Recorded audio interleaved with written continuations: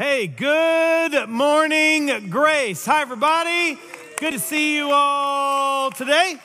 Thank you for being here, and thanks to everybody who's watching and joining us online from the Houston area. And then also, there are people from around the country who are dialed into uh, this service. And then we have our international uh, leaders from all over the world who are a part with us here this Sunday. I'm just going to ask you to put your hands together and welcome everybody who's joining us right now online. So, uh, before I jump into this message today, I just want to say a couple of things. Uh, we don't always get to tell you everything that's happening at the church, but there's, a couple, there's two things that I really think are great, and then one thing I want to point you to. Uh, many of you have seen, and it's been a couple weeks, so it's kind of uh, fallen out of our consciousness a little bit, but Florida got hit really badly with a hurricane. And we know what that's like here, especially here at Grace. We know what it's like to go through that. And I just want you to know, because of your generosity, uh, we were able to send finances to churches that are in those communities. It's so important because as the church is healthy and able to reach the community, it makes a huge difference in rebuilding the community. So, just so you know, part of your generosity is helping spread the gospel and help people have homes to live in in Florida. So, thank you for your generosity, everybody. Thank you for that. And then uh, this week, we got an honor to, um, to host several hundred pastors here for a pastor's event uh, here at Grace. One of the things that's part of our heart is to help pastors uh, just uh, do their very best in ministry, and it's part of who we are to support and applaud and lift up pastors. Look, you don't have to be from this church. We are all part of Jesus' church and we're all working together. That's our heart. So we're part of his church in the Houston area and we got a chance to serve other pastors. It was really great. Many of you came out, volunteered your time, and so I just want to tell you thank you for giving of your time to help and serve the church uh, of Houston. Then, just for my part, I just want to point to the women's conference and say, ladies, make sure you get signed up today. Uh, the title of the conference is Together Believe for It. And so it's a great place to make friends and great place to experience God and a great place to believe for God's best for you. All right, let's jump into the series today. This is called Jesus Said Forgive. This is part three of this series. And what we're looking at is the places in the Bible where Jesus talked about forgiveness. Now, he talked about it a lot, and we don't have time in the series to unpack every single spot that it appears. But what we want to do is get an idea, get a feel for what Jesus has to say about forgiveness. I'm going to tell you why this is really important. A recent survey was done of Christians, people who go to church like you and me, and they asked, What's something you really want to hear more about from the Bible? Top of the list was forgiveness. In other words, we need to know that God has forgiven us, and we need to, to work through how to forgive others. Many people are dealing with issues in our lives, and something's happened, and it wasn't fair, it wasn't right, something happened to you. Maybe you have the challenge of trying to let go of that and move on. It's not as easy as it may seem. Well, Jesus understood that. And so he talked about the power of forgiveness, and we're just going to jump in and unpack it uh, together today. In the part one, I talked about what is forgiveness. I just defined it there. Part two was last week, and I talked about the life changing qualities of God's forgiveness. How can you and I experience the forgiveness of God? Because we need that in our life. And by the way, if you're ever going to be a person who can forgive others, you have to be forgiven yourself. And so it's so important if you are struggling in your own life with letting go of your past or decisions that you've made, I really encourage you to go back and pick up that message from last week because I know it will help you to know what it means to be forgiven by God. And that's what gives you the fuel to then forgive others, which is what I'm going to talk about today. Today's part, uh, is part three of the series, and the title of the message is Forgiving Freely. Forgiving Freely. And literally, I want to teach you what the Bible has to say about how you and I can forgive someone else.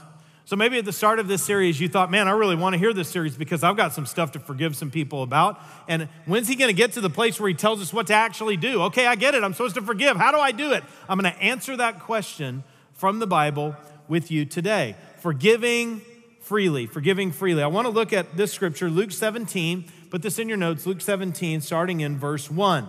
Here's what it says Then he, and that's Jesus, said to the disciples, It's impossible that no offense, offenses that no offenses should come, but woe to him through whom they do come.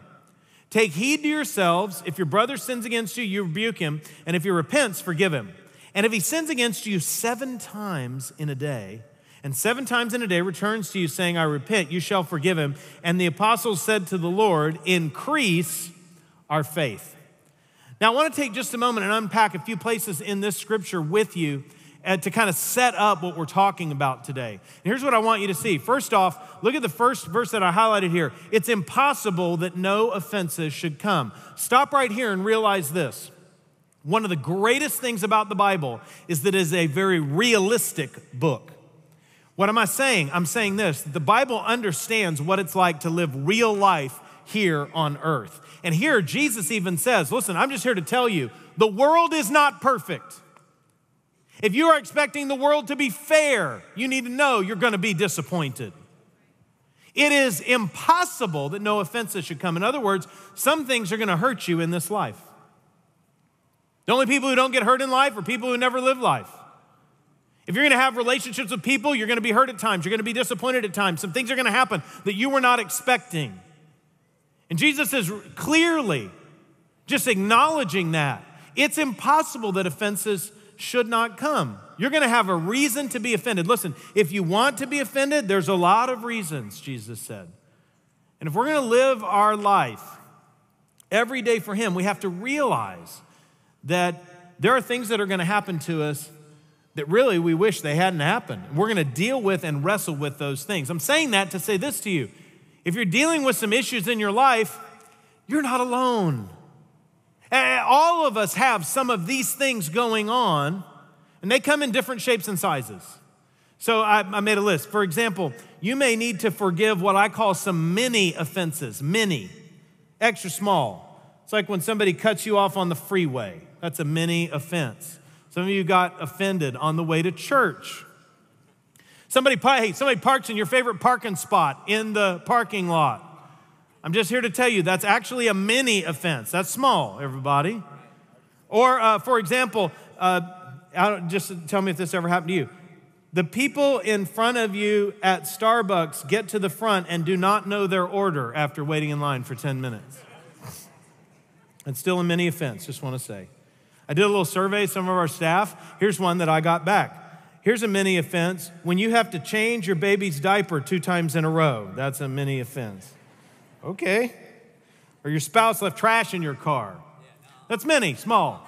Small, small. But it gets bigger, right? So uh, there's many offenses. Then I, I, these are minor offenses. So it goes from many to minor.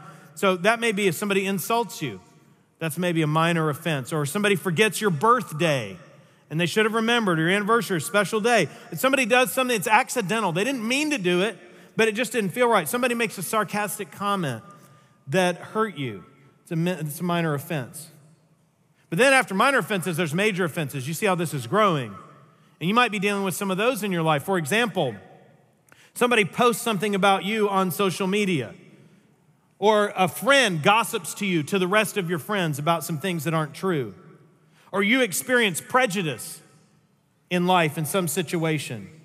Maybe a major offense is somebody who lies about you or your reputation to others. Or you're in business and somebody breaks a business contract or blows up a deal that was really important to your business. You could carry a major offense for that. So there's many, there's minor, there's major, and then there's massive. I know that not everybody, but there are some people here in the room today. I know not everybody, but there are some people who are watching today who aren't dealing with many offenses, and they're not even dealing with minor or major offenses, they're dealing with massive offenses. What do I mean by massive offense? I mean something that happened in your life that should not happen to anyone, anywhere, anytime, in any circumstance, in any situation. I'm talking about the, the things in life that feel like a bomb went off and I'll never recover because of what somebody did to me. I'm talking about things that are hard to talk about. I'm talking about a spouse cheating on you. I'm talking about abuse, whether it's physical, emotional, even sexual abuse. Massive offensive. I'm talking about walking through a divorce or your family falling apart. I'm talking about things that feel like you may never recover. And here's what I'm here to say today I don't know your story. I don't know all the details of what you have walked through. But I want to say this if you're here today and you're dealing with a massive offense, if you're here today and you have some weight that's on your shoulders that's so big, you maybe even don't feel like you can talk about it. If you're here today and you've suffered something so deep and so terrible that you just feel like you'll never be the same, I just want you to know this you're in the right place today. You know why? Because the presence of Jesus is in this place. And when you face something that's impossible, and when you face something that is so painful, and when you face something that has hurt you so badly, I want to tell you that Jesus is still a miracle worker, and He can work a miracle in your heart and in your life, and He can make a change that nobody else can make for you. So I'm glad you're here. And I want to say one more thing you don't have to fix it on your own. You don't have to clean up, you don't have to get right, you don't have to fix your life. The truth is, when we need God the most, we deserve Him the least. And you may be sitting here saying to yourself, well, man, after all I went through, I don't even think God wants me. I'm here to tell you, God absolutely wants you. It's why you're here. It's why you're listening to this message right now. It's why you're tuned in right now, because Jesus wants you to know that He loves you right where you are right now. And He has the power to change your life if you'll let Him in. It's impossible that no offenses should come. Things are going to happen in this life. And I don't know what anybody told you when you came to faith in Jesus, but if somebody said, if you're going to be a Christian, you won't have any trouble, I'm here to tell you they didn't quote the Bible. I'm here to tell you that serving God, you might actually have some more trouble in this life. You may at some point be persecuted for your faith because you believe in Jesus. So you have sun, the rain falls on the righteous and unrighteous the same. You're going to have some problems in life, but here's what I know is that you may have the same problems as everybody else, but it won't be the same as everybody else because you have Jesus to walk with you through every moment and every step of every challenge in your life. So he said, it's impossible that offenses shouldn't come. And then he goes on to describe it. He says, Look, if somebody sins against you, somebody does something against you, somebody does something wrong, that you need to forgive them seven times in a day. Underline that in your Bible. Here's why. I want to take you there and I want you to put on the hat of being one of these disciples because every one of these disciples was thinking the same thing in this moment. And here is what they thought they had been taught from the time they were children, from the time they were small, in rabbinic Jewish tradition. Here's what they were taught you forgive somebody three times. You can forgive somebody three times. Time number four, you do not forgive anymore. So everybody gets forgiven three times. So if somebody makes a mistake, you forgive them, make it again, you forgive them, make it again, you forgive them. But on time number four, you clobber them. From the time they were small. And here comes Jesus, and here's what he says. Now, watch this. He says, If they do wrong to you seven times in the same day, I'm still calling you to forgive them. Wow. This is mind blowing because Jesus always takes the law that they were taught and expands it to include not just our behavior, but our heart. Do you see here that what he's teaching is that you have to have a forgiving heart? You need to have the kind of heart that's willing to forgive. And that's why the, this makes the whole last statement make sense. Jesus says, I know you were taught that you only forgive three times and then you can clobber them. And you can read the scripture and go, well, Jesus said you forgive them seven times, and on number eight, you can beat them up. No, he didn't say that. Jesus says our forgiveness needs to be something that comes out of our heart. And this is why the disciples then say, Lord, if that's true, if you want us to live that way, you are going to have to increase our faith. By the way, it's the only time they ask for increased faith. Healings didn't ask for increased faith. Miracles didn't ask for increased faith. But when it comes to living my life as a free person, forgiving others, oh God, you are going to have to help me have more faith to trust you in the process. And if you feel like you can't forgive, I'm just here to tell you let's pray that this series will help increase your faith to believe God so that you can walk out everything that He's teaching us to live out. So Jesus said, Forgive. So I'm going to take the rest of this message. I'm going to talk to you about two things. One is what does the Bible really say about forgiveness? And two, what are the steps? I'm going to teach you four steps to forgiveness. But before that, I want to go to our mindset just for a moment. And I want to show you four fallacies that our culture teaches us about forgiveness. Now, now, I'm not saying that somebody sat you down and taught this to you, but I am saying it's so prevalent in our culture that we've just absorbed it somehow and grabbed hold of it somehow, and we need to face this and understand it before we move on. Here's number one culture teaches that forgiving is optional. Our culture teaches us that you can forgive or not forgive. It's up to you. In fact, in some places, our culture celebrates that you don't forgive. It's optional. It's not something that you have to do, it's something that you do if you choose to do. But what does the Bible say? Write the scripture down Matthew 6, 14, and 15. For if you forgive others their trespasses, your heavenly Father will also forgive you. But if you don't forgive others their trespasses, neither will your Father forgive your trespasses. What's Jesus teaching us here? That there is a connection between me forgiving others and receiving forgiveness in my own life. Now, let me stop for a minute, just take a quick aside, and I did this in the first message. This is not talking about your salvation. It's not teaching us that the only way to get saved is to forgive someone else, because if we had to do that, then we would work for our salvation. But the Bible teaches us salvation is a gift from God. There isn't anything, listen to me, there isn't anything that you can do to deserve or earn salvation. Salvation is because of Jesus' death on the cross, period, end of sentence. It's not something that we earn or do. But what Jesus does show us is this that forgiveness is not optional. Forgiveness is connected to you living in freedom, and you'll never live the free life He wants for you if you don't forgive. That's why the Bible teaches that forgiveness is a requirement for Christians. It's required so that you can live free and live out the life that God created you to live. Here's the second fallacy culture teaches that forgiving is about the person deserving it. Some people deserve to be forgiven, and other people don't deserve to be forgiven. And what we need to do is decide who deserves it and who doesn't deserve it. And yet, look at what the Bible says. This scripture out of Colossians 3:13, bear with each other and forgive one another if any of you has a grievance against someone. And then look at this, forgive as the Lord forgave you. I highlighted that because I want to dig deeper into it with you. See, if you ever been tempted to say, well, I would forgive them, but they really don't deserve it. I want to point you to the scripture because the Bible teaches us to forgive as the Lord forgave you. And let me ask you this question Did you forgive, did you deserve it when Jesus forgave you? None of us did.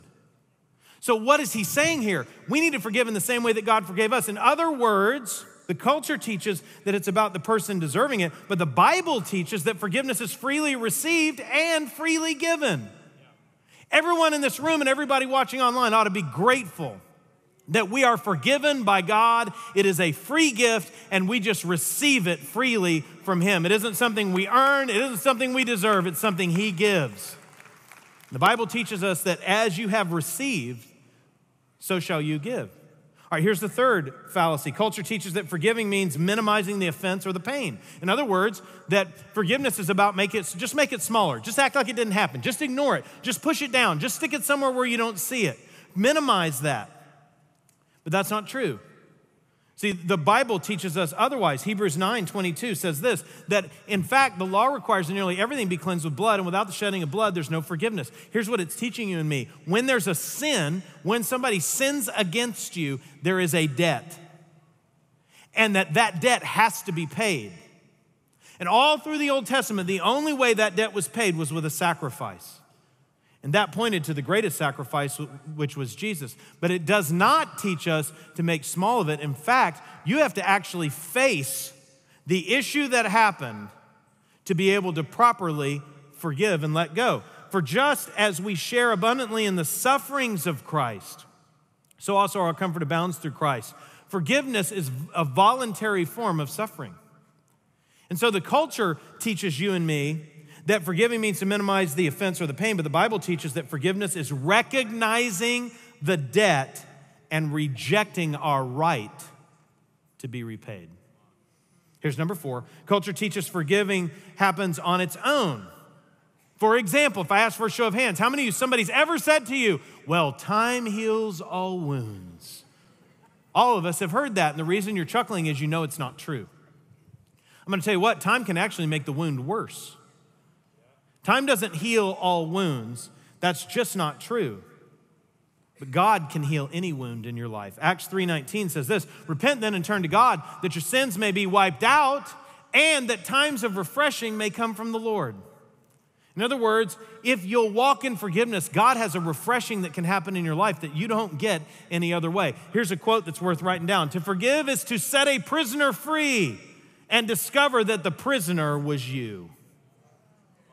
How many people live in the cage of unforgiveness in their life.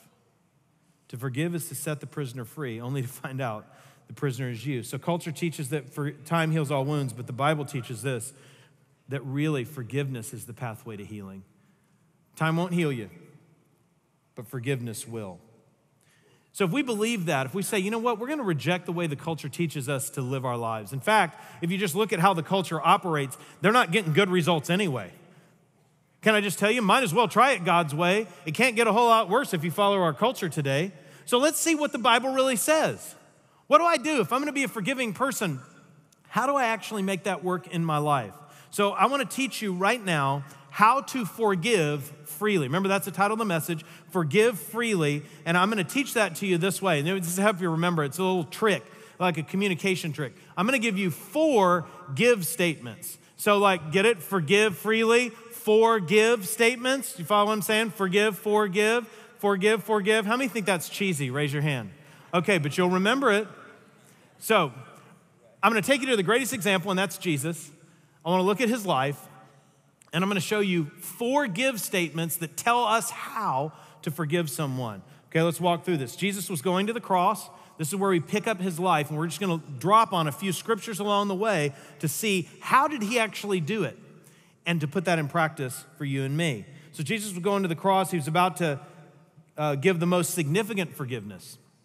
It was a huge weight, a huge burden. Let's look at how he did it. Number one, write this in your notes give up control to God.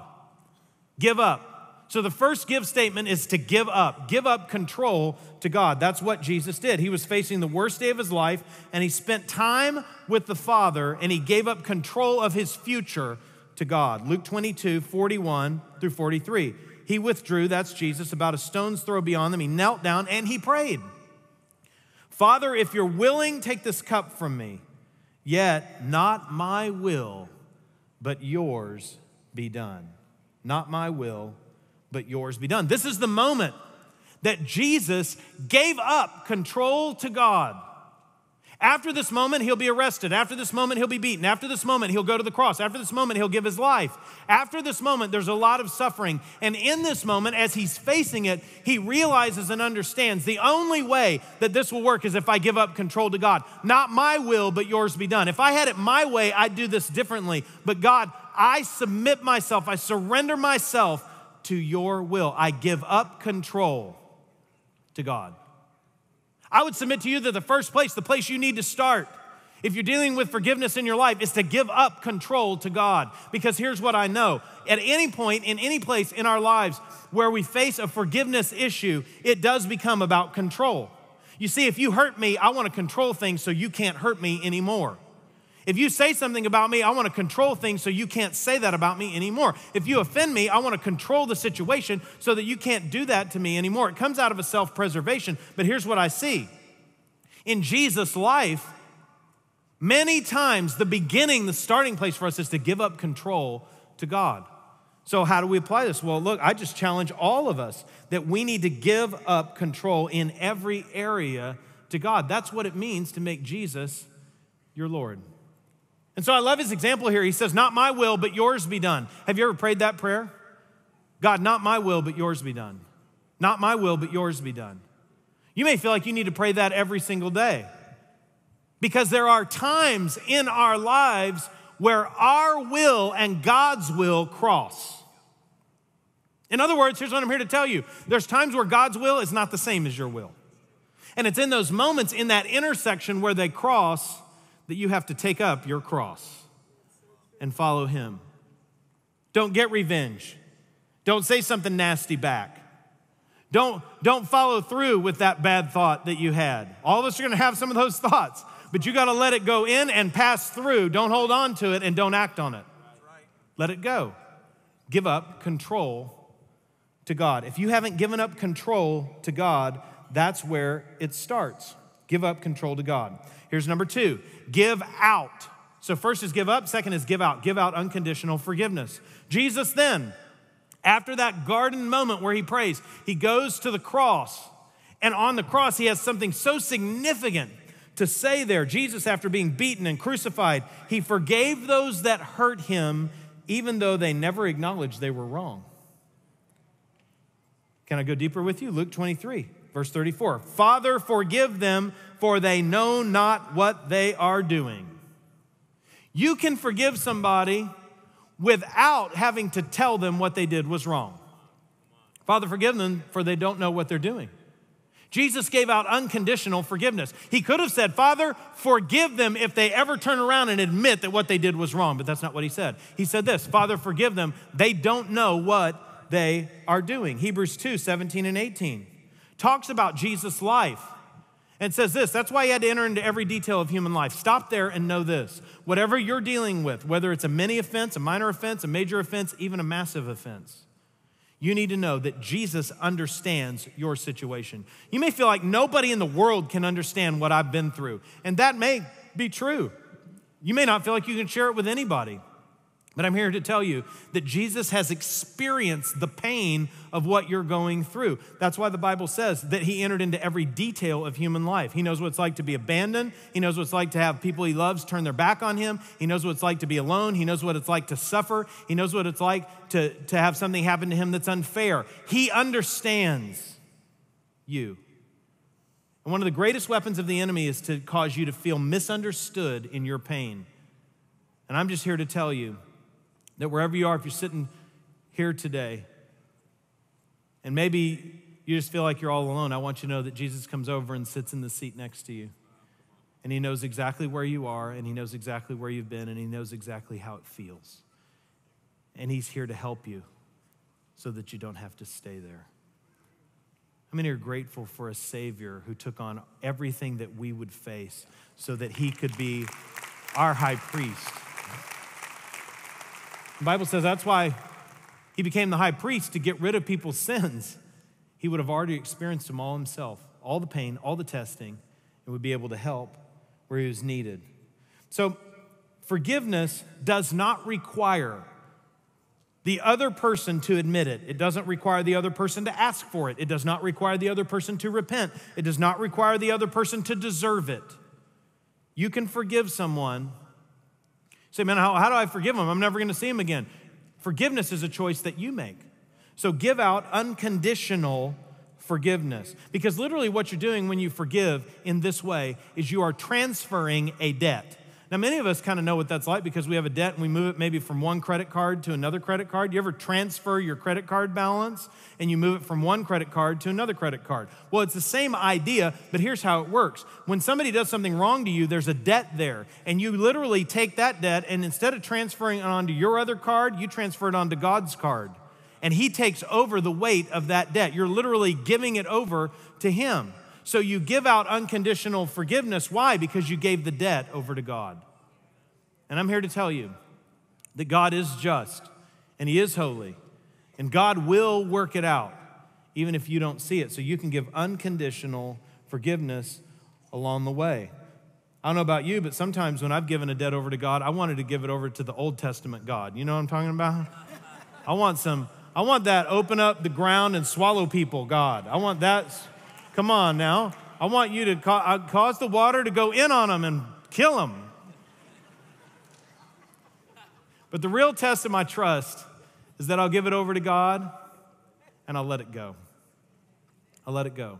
And then I can give out unconditional forgiveness. Here's number three. So give up control to God, give out unconditional forgiveness. Number three, give away good for evil. Give away good for evil. Luke 23, verse 43. Jesus is on the cross, and when he could have called down judgment on that moment, he chose to still do good for others, even while he was on the cross dying. Luke 23, 43 says this Jesus answered him, This is to the thief and the cross right next to him. Truly I tell you, today you'll be with me in paradise. In the moment when Jesus could have looked at the pain he was in and the suffering that was happening and just turned away from everybody, here's what he chose to do. In that moment, he still reached out to make a difference in someone's life. Give away good for evil. Evil was being done to him, but he was giving away good. Romans 12, 17 through 21. Here's what the Bible says. Now, we've got to learn this. Here's what it says Repay no one evil for evil. Stop right there. Don't cut them off on the freeway because they cut you off on the freeway. Come on. vengeful cutter offer person. Don't, hey, don't speak bad about them just because they spoke bad about you.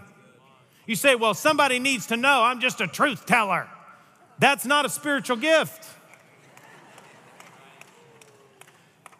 Don't hurt them because they hurt you.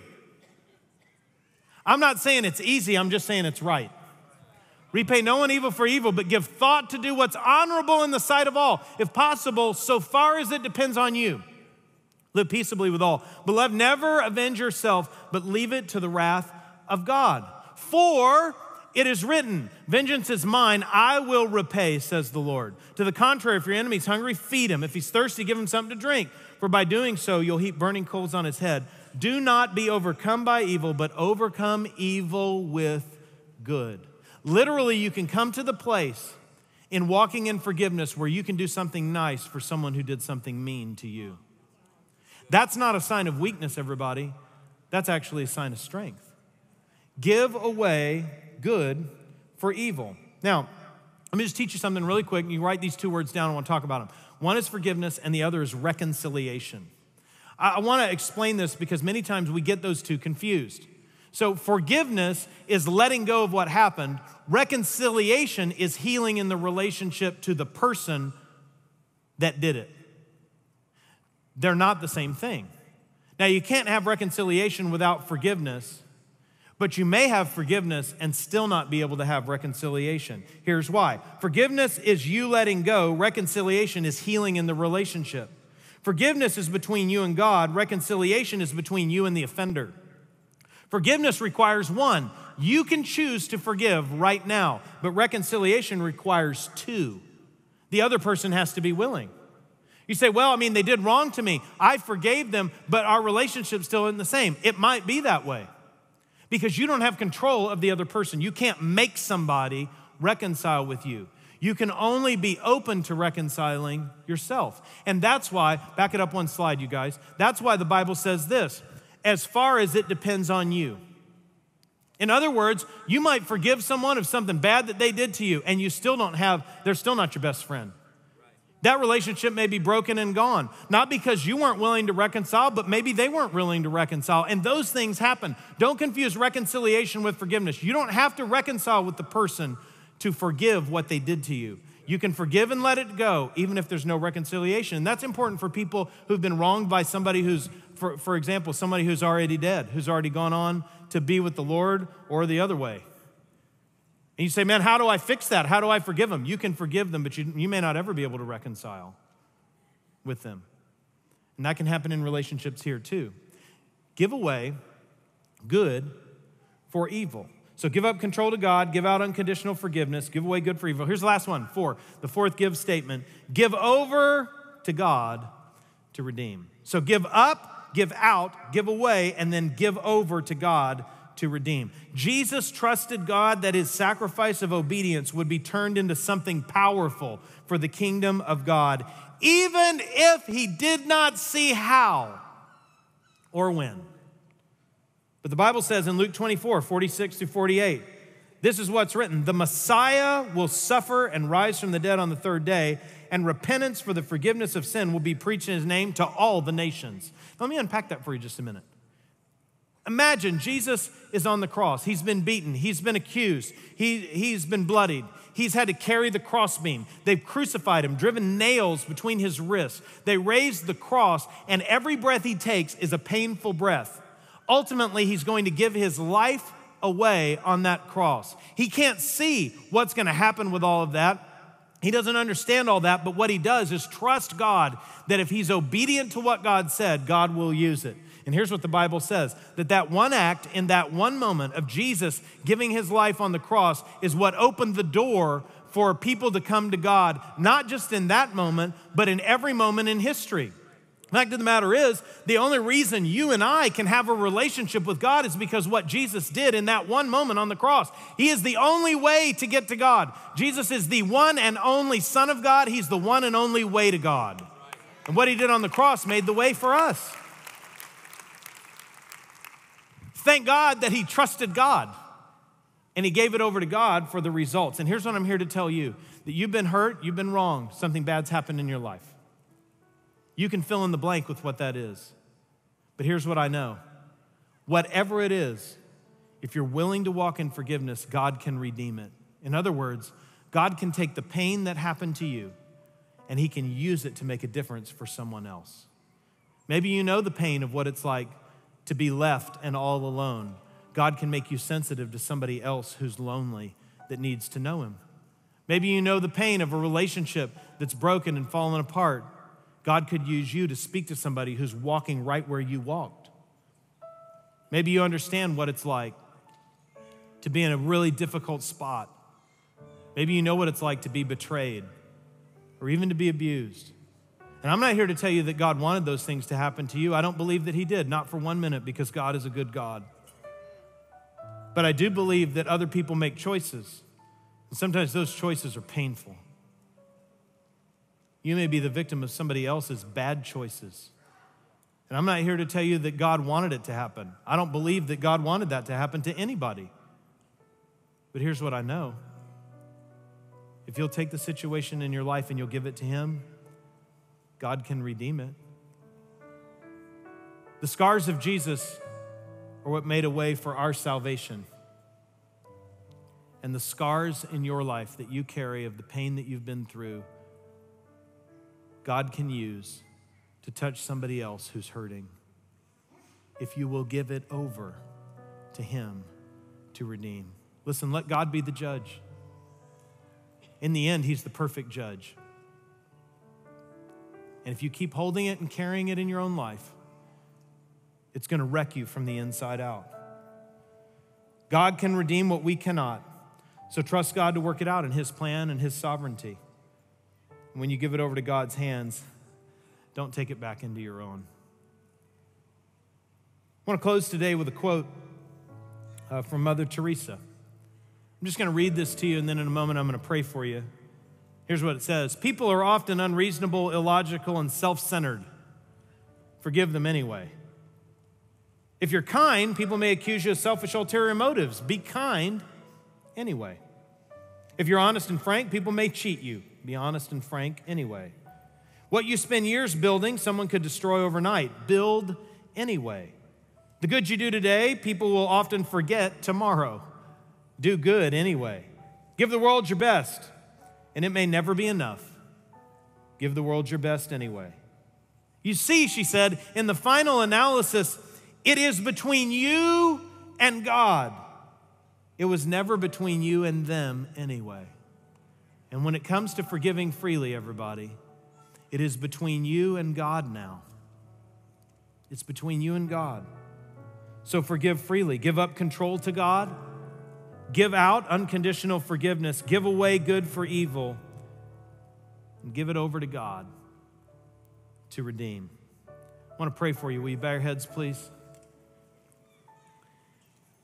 As I close this message, there's two ways I want to pray. The first one is for anybody who's here or watching online that needs to open your heart to the love of God. I talked about Jesus being the one and only Son of God and the one and only way to God. He's the only way you can have a real relationship with the God who created you. He made the sacrifice of giving his life up on the cross for you. And it's personal. And so I'd like to ask you today have you ever opened your heart to the love of God? Because if you haven't, now is the time. say, man, you don't understand. I'm hurting. I have pain. I've got problems. I've got issues. If you knew the issues I had, you would think that God doesn't want me. Absolutely, God wants you. You're the reason why He went to the cross. It's so that you could know in this moment, right now, that God loves you and that Jesus died for you. Will you open your heart and let Him in? I'm going to pray a prayer to help you do just that. Nobody in this place or watching online needs to be scared of this prayer. I'm going to lead you and guide you. I'm here to help. I'll help you express your heart to God. But before we do, I'm going to ask you to respond by lifting your hand in just a moment. I'm going to count to three. I'm going to ask for people all over this room and watching online to lift your hand and hold it up, to lift it up high and hold it up. And then I'm going to lead you in a prayer. So, right there, while people's heads are bowed all around this place, if you're here today and you need to say yes to Jesus, there's sin in your life, there's junk in your life, you know you need Jesus at the center of your life. Maybe you knew him a long time ago, but you've wandered away, you've gone your own way. It's time for you to come back and put Jesus in the center, if that's where you are today, right now, I want to pray with you. And so, my hand's up, and I'm going to ask you to lift yours in just a minute. I'm going to count to three. One, for everybody who's here that needs to open their heart to the love of Jesus. Two, I want you to make that decision. You're just going to slip your hand up and hold it up high. I'm going to have you put it down, and we're going to pray. One, two, three. All around this room, lift your hand and hold it up. All over this room, there are people lifting their hands to the Lord today, and online too. Right there in your living room, you can sit there and lift your hand too. God sees all that. It really is for Him. And now you can put your hands down. I see those hands all over the place here. You can put your hands down and let me lead you in a prayer. I'm going to ask everybody in the room today to pray this prayer out loud together. It helps build people's faith and it makes it easier on those who are praying for the very first time. So I want everybody to pray together. Even if uh, this isn't your first time to pray this prayer, please pray with me out loud. I'm going to lead you phrase by phrase and we're going to pray together. Let's pray. Pray this way Dear Jesus, I come to you and I believe in you. I believe you're the Son of God. I believe that you died on the cross. And I believe you rose again. I open my heart to you now. And I invite you into my life. Now heal me, change me, forgive me, and make me new. Thank you for what you've done for me. I pray in Jesus' name. Amen and amen. Well, come on, everybody, put your hands together for people who prayed that prayer online in the room today. We exist as a church to help lead people in a growing relationship with Jesus. We want to do that for you. That's why we're here. Before we go today, uh, I saved another prayer for you. And I'm going to ask everybody in the room to stand to your feet. Would you do that? The worship team's coming back, and we're going to sing one more worship song. Our prayer team's going to come to the front. And today, if you have a need of any kind, whether it's your family or your kids, or a need in your marriage, or a, a need for God's wisdom in a situation, we want to pray for you. We do this every single week. Every week, we worship God. Every week, we look at God's word. Every week, we pray for miracles. We want to pray for you. But this message may have stirred something in you, and you might say, Man, I just need help. I just want somebody to reach to me and believe with me. There's a team of people standing right here in the front that want to reach to you and believe with you. If you're online today, you can just type into the chat. We'll pray with you there. If you're in the room today, I want you to slip out of your seat and start walking this way. You won't be the only one. There'll be people coming from every section who want prayer today, and you can join them. If you're here, you're brand new, it's your first time here. We want to pray for you. If you have a need, we believe that God cares about your life and He wants to do something for you. And so step out of your seat and come this way. Everybody else, let's sing with the team. We're going to worship God one more time and lift Him up, and then we'll close this service together. But let's worship the Lord one more time. If you have a need of any kind or the message stirred you for prayer, step out, come this way, come to one of these folks, and let us pray with you. Everybody else, let's worship the Lord together.